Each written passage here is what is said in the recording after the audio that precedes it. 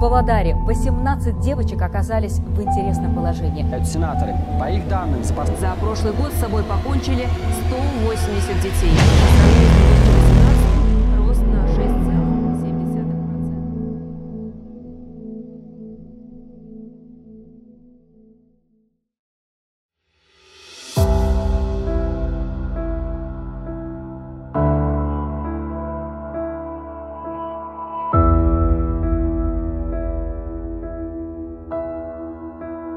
Thank you.